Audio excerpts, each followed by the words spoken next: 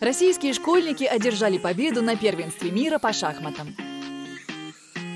В этом году чемпионат проходил в Грузии. В нем приняли участие 747 юных шахматистов из 68 стран мира. При этом соревнования проходили в трех возрастных категориях – до 8, до 10 и до 12 лет. Российские школьники завоевали три золота, серебро и бронзу. Так золотые медали получили московские школьники Виктория Меркулова, Артем Усков и Ника Венская. Также москвич Роман Шокджиев завоевал серебро, а Оксана Горячкина из Салихарда – бронзу. Кроме того, российские школьники заняли первое место в командном зачете. Они обошли даже команду из Индии, страны-родоначальницы этого вида спорта. Поздравляем наших юных героев и желаем им дальнейших успехов.